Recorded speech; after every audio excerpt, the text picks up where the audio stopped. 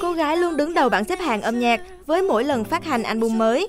Một người được ví với thuật ngữ ca sĩ, nhạc sĩ hơn so với thuật ngữ thần tượng K-pop thông thường. Cô hiện là một nữ nghệ sĩ solo, toàn diện với kỹ năng sáng tác bài hát đáng ngưỡng mộ và phong thái trên sân khấu tuyệt vời. Nhưng trước khi ra mắt, cô ấy đã bị thất bại khoảng 20 buổi thử giọng, bao gồm cả buổi thử giọng do JYP Entertainment tổ chức và thậm chí cô còn là nạn nhân của vụ lừa đảo của một công ty giải trí. Xuất thân từ một gia đình nghèo khó, cô ấy đã trở thành một ngôi sao hàng đầu với tư cách là một nghệ sĩ solo, trái ngược với việc là một thành viên của nhóm nhạc thần tượng. Và đó chính là thần tượng của chúng ta sẽ khám phá ngày hôm nay, IU. Hãy cùng CU tìm hiểu sâu hơn về câu chuyện việc trước đây IU đã thất bại khoảng 20 buổi thử giọng như thế nào để có thể trở thành nghệ sĩ solo hàng đầu trong K-pop như hiện nay nhé.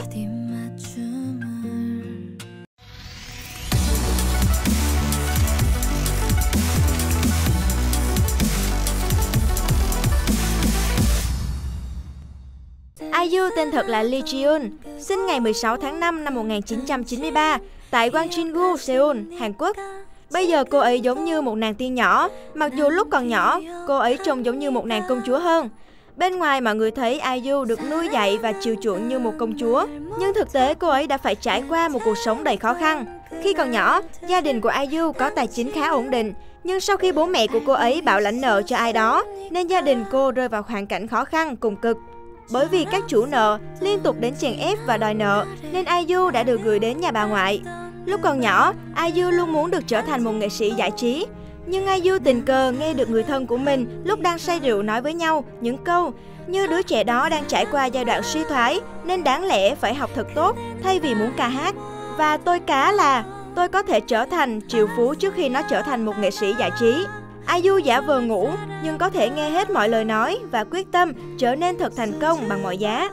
Một lần nọ khi còn đang học lớp 8, IU đã hát bài hát One Side Love của Chu Hoo Min trước mặt bạn bè và thầy cô tại trường.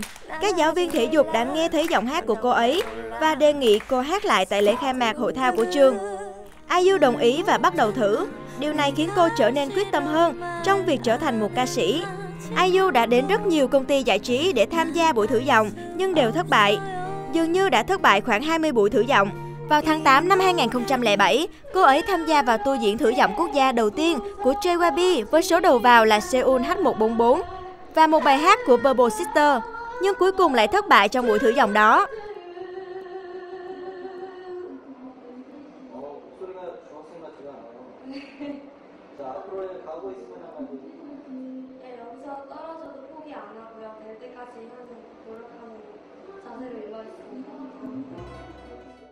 Nhiều năm sau, Park Jin Young, chủ tịch của công ty giải trí JYP, thú nhận rằng anh đã cảm thấy buồn và tiếc nuối khi biết chuyện này.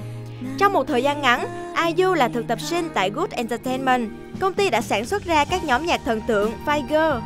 Nhưng IU đã sớm rời công ty và trở thành thực tập sinh của một công ty khác. Một lần nữa cô phải đối mặt với rất nhiều khó khăn khi được thông báo rằng với một số tiền nhất định, cô ấy có thể được đào tạo và sẽ được xuất hiện trên TV. IU đã gửi một số tiền khổng lồ cho công ty nhưng không nhận được bất kỳ phản hồi nào từ họ. Số tiền đó là từ việc bán phụ kiện của bà cô ấy. Vì là điều này nên khiến IU càng thêm đau lòng. Cuối cùng, IU đã được Jae Gap của công ty Loen Entertainment phát hiện vào tháng 10 năm 2007. Cô đã vượt qua buổi thử giọng do Loen tổ chức. IU vốn sở hữu một giọng hát tuyệt vời nên càng tiến bộ hơn trong vai trò ca sĩ và nhận được sự hỗ trợ đắc lực từ Dong Kyun và Gumi. Hai người đều là những ca sĩ huyền thoại của K-pop. Sau khi được đào tạo khoảng 10 tháng, IU ra mắt ở tuổi 15 vào tháng 9 năm 2008. IU không ra mắt với tư cách là một thành viên của một nhóm nhạc nữ, mà vì giọng hát của cô ấy quá nổi bật, nên công ty quản lý quyết định rằng IU sẽ khó hòa nhập với những người khác. Nhưng ngay sau khi ra mắt, cuộc sống của IU vẫn không ổn. Bài hát đầu tay Lost Child của cô ấy ra mắt không thành công, nhưng năm 2010, các bài hát Nagin và Good Day đã trở thành những hit lớn của làng nhạc K-pop. IU được gắn với danh hiệu em gái quốc dân và trở thành một ngôi sao hàng đầu.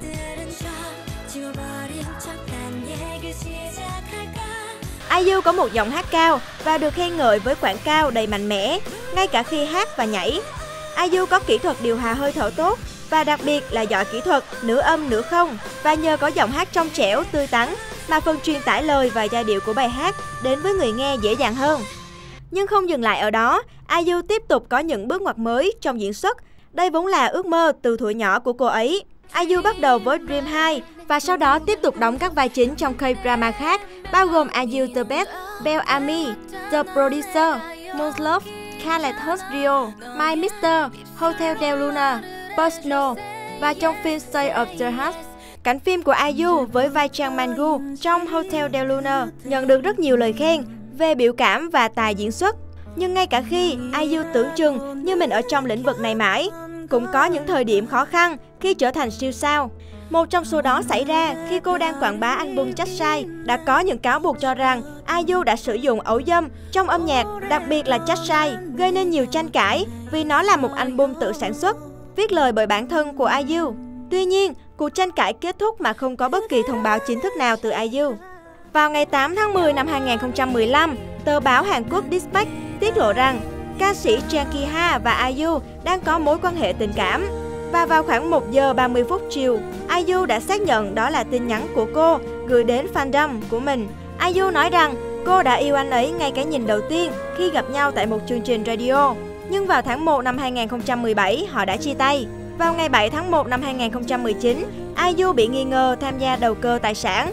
Tuy nhiên, sự nghi ngờ đã được bác bỏ và tiết lộ rằng IU chỉ mua bất động sản để cung cấp các phòng tập cho các hậu bối của mình. Người bạn thân thiết của IU chính là Suli, người đã qua đời vào năm 2019. Ngoài ra, Jung Hoon của Shiny cũng là người bạn, người cùng cô hợp tác trong A Gloomy Clock, ca khúc nằm trong full album thứ ba của IU. Cô ấy đã viết lời bài hát Beach. Sau khi trải qua giai đoạn khó khăn khi mất người bạn thân nhất Sully, IU nói rằng động cơ để viết nên bài Red Queen cũng chính là Sully. Hình ảnh được sử dụng trang chat sai của cô chính là ảnh tự tay Suli chụp. Khi Suli đột ngột qua đời, việc phát hành các nội dung liên quan đến mini album của IU cũng bị hủy bỏ.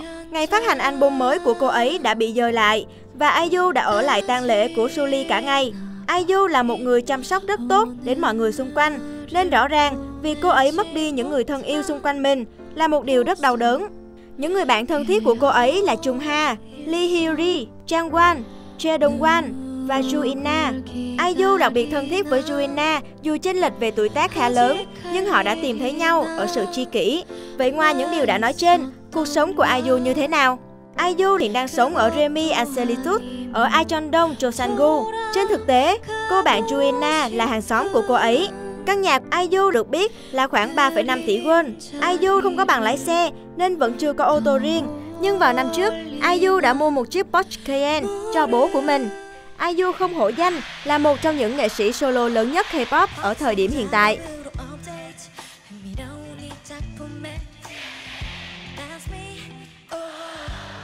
Và bây giờ, cô ấy cũng có kỹ năng diễn xuất tuyệt vời, nên không có điều gì có thể ngăn cản sự phát triển trong sự nghiệp của cô ấy. Với những thành tích ấn tượng, tương lai IU sẽ khiến cho mọi người hâm mộ sẽ bất ngờ hơn nữa. Cảm ơn các bạn đã xem video này. Nếu có thần tượng K-pop nào bạn muốn xem, hãy bình luận bên dưới nha. Hẹn gặp lại các bạn trong những video tiếp theo.